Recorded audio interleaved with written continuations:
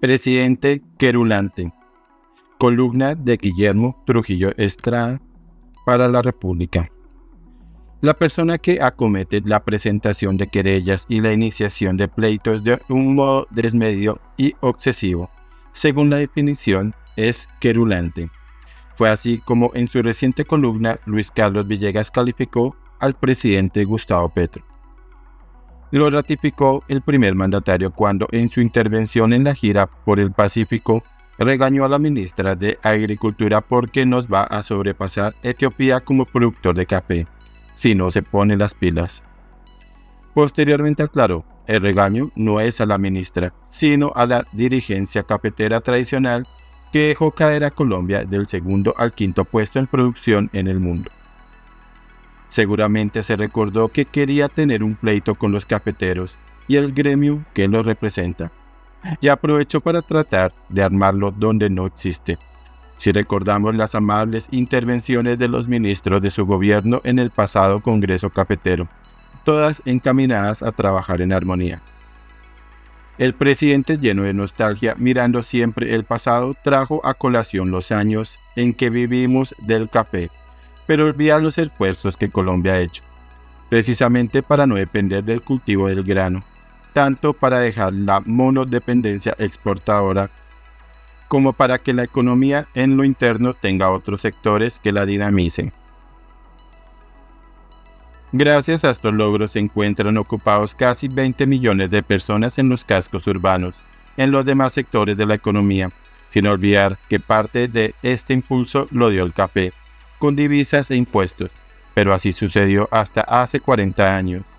Cuenta que el país ya ha pagado suficientemente.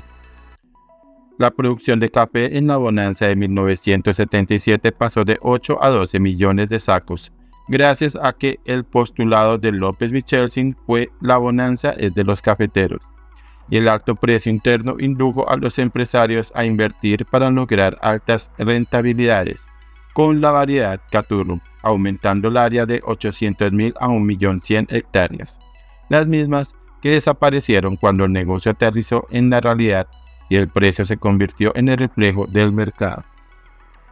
Luego, en 1987, cuando la Roya destruyó Cafetales, se ejecutó la gran renovación por la federación, con la introducción de la variedad Colombia, sin aumentar el área sembrada y como resultado, para 1992 se logró la mayor producción de la historia.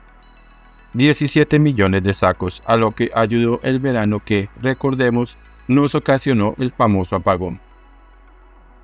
En 2008, cuando se inició la ola invernal que perduró hasta el 2012, la producción bajó a 7 millones de sacos.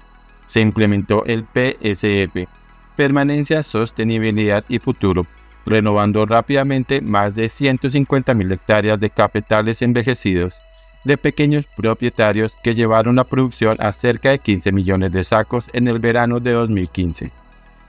Este repaso nos sirve para quienes solo desean ver el pasado se percaten que han sido la federación y sus dirigentes los que han impulsado los grandes programas que han permitido incrementar la producción. Su reclamo le reconoce esa responsabilidad a un gremio con el que es obligatorio concertar la política cafetera y que con creces ha demostrado capacidad de implementarla. Solo concertando y no peleando se puede continuar, no es posible que nos gobierne la nostalgia, que generalmente lo que produce es decadencia.